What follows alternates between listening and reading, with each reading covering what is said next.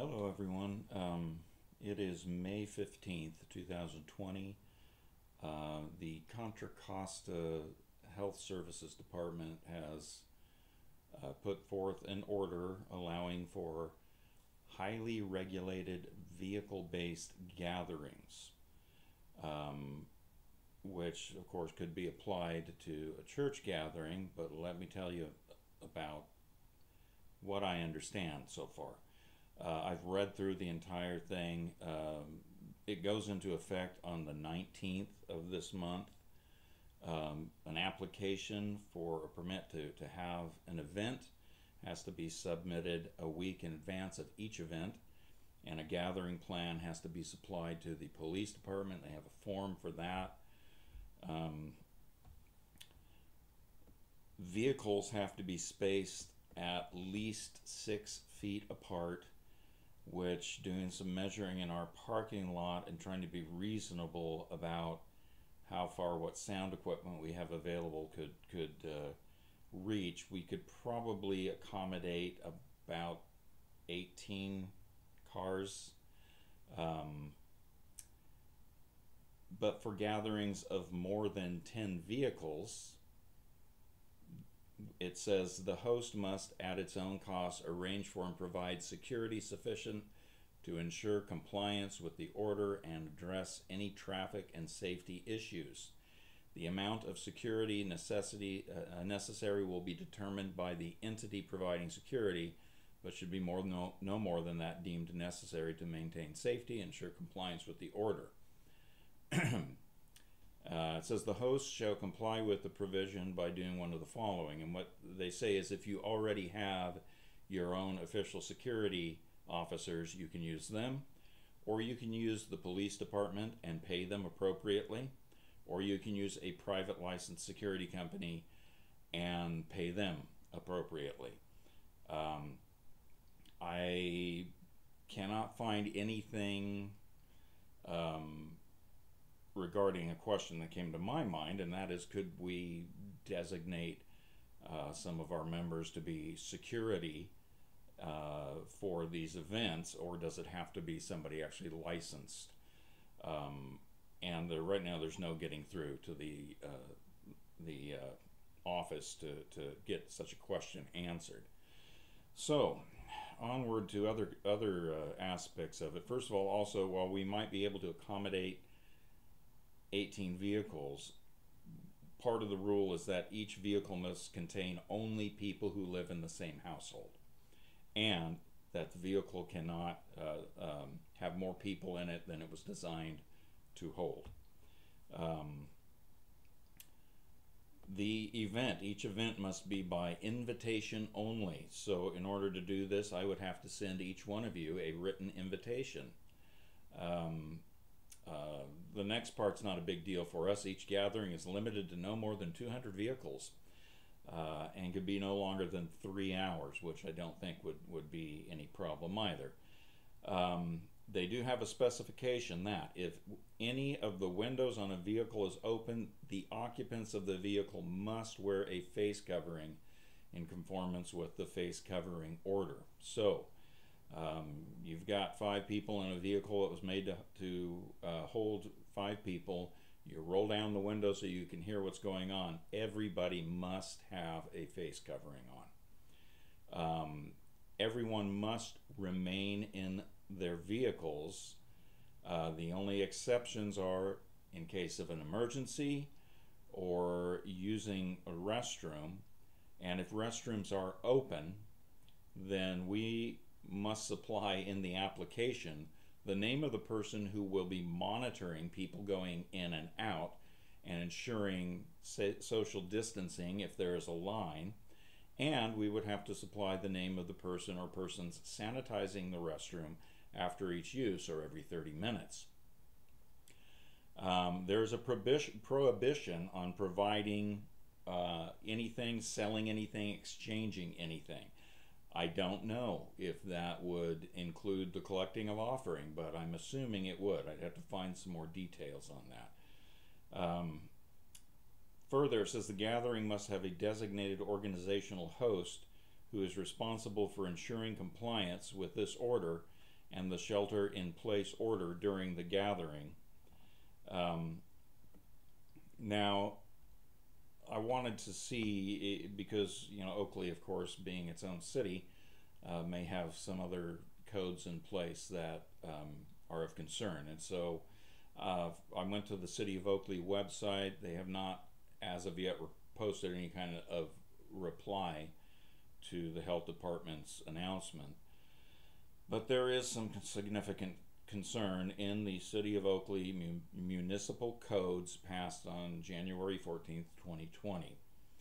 Um, section 4.2.208 has prohibitions, and it says, um, except as otherwise provided in this article, it is unlawful for a person to do any of the following acts. And I'm going to go down to uh, subsection E, which says install, use, or operate a loudspeaker or sound amplifying equipment in a fixed or movable position or mounted on a sound truck for the purposes of transmitting sound to a person in or on the street, sidewalk, park, or public property without a permit obtained under section 4.2.210.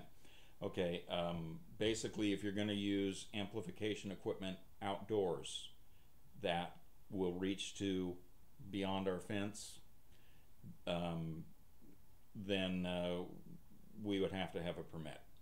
And under um, permits for sound amplification, section 4.2.210,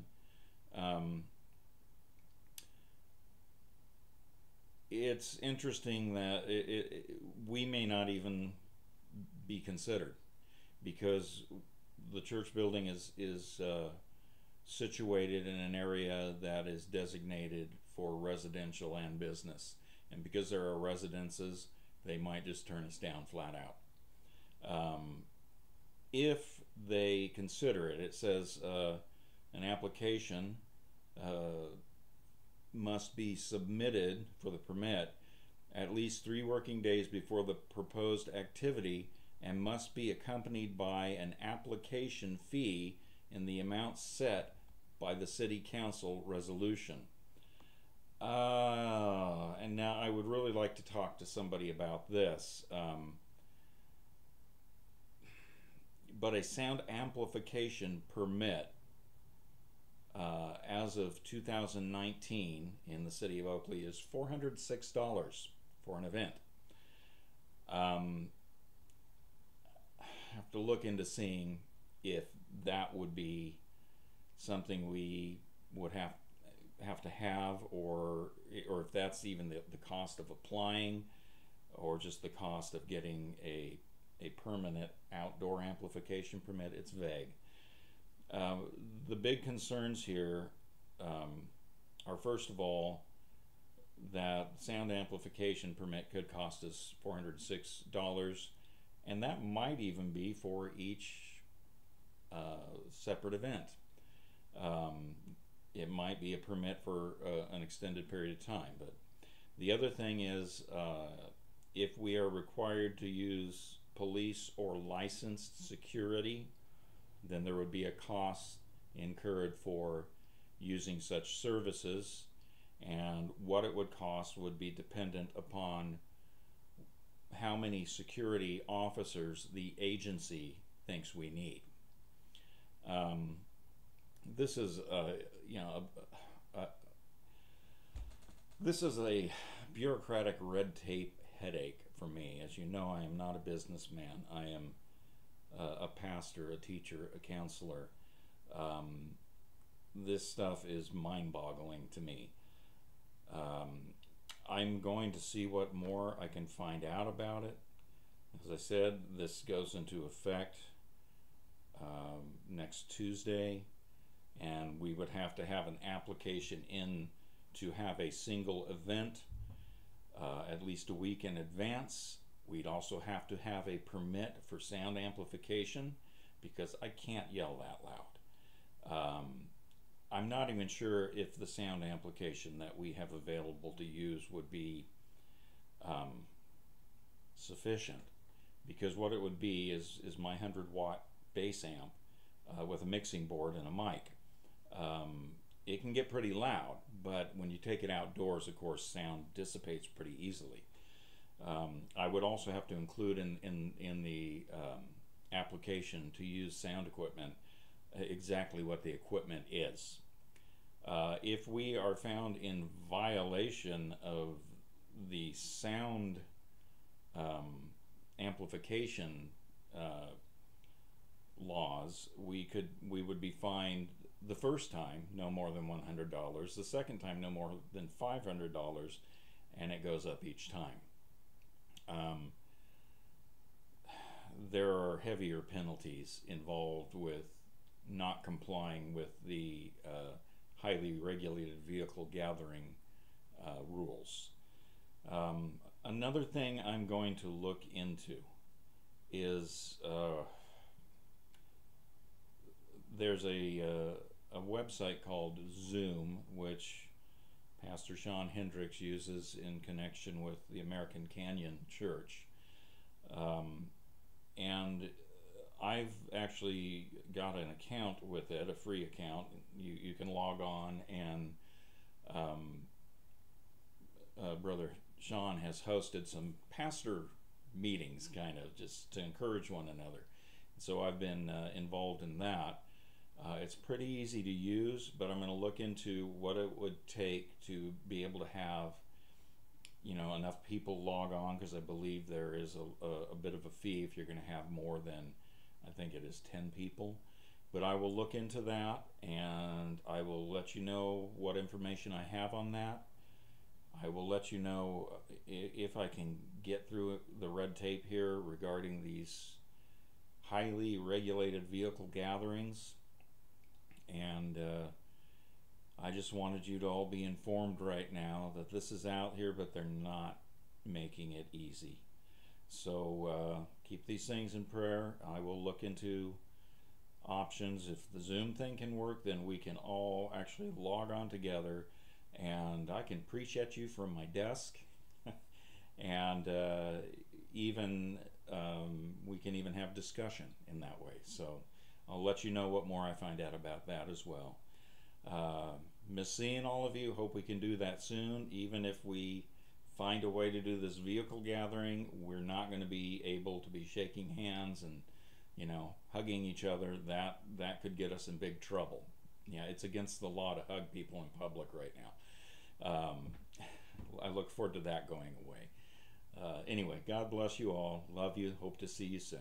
Bye bye.